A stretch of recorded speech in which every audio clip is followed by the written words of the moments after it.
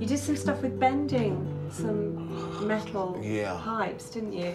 I do. I, I bend the strongest bars in the world. Mm-hmm. Yeah. I thought so. They call me Stanless Steel. The strongest man in the world at bending steel. I actually can bend coins in my fingers. Ladies and gentlemen, I bring to you the moment you've been waiting for. I can't mess this up because I only have like a few more shots. That's all I got. You're the best at what you do. It's finding the right peg to fit the hole, so to speak. Here he goes. Here he goes. Here he goes. Go down. It's.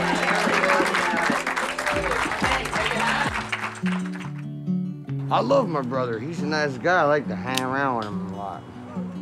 My hands are armored. I've got tremendous power that I can't be hurt. Exactly. If I want it. Why don't have Yeah. any set goals right now?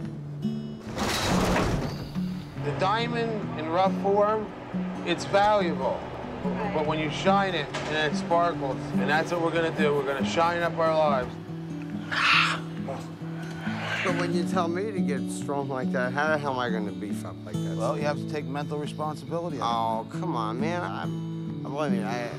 Uh, You got all these clutches here, there, all this extra baggage here and there in your brain, and you know you want to have someone to talk to about it. You want to relate to someone. There's all this clutter in your mind, and you know, and it just piles up.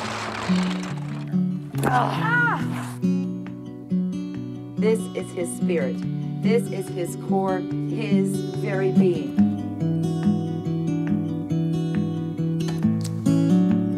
That's it. You're in Jersey. One week cold, next day, boom, change. Everything changes.